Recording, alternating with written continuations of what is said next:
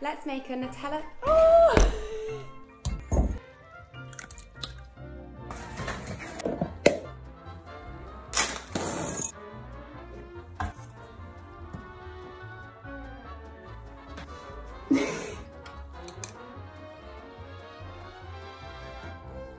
Bake in the oven for about 20 minutes.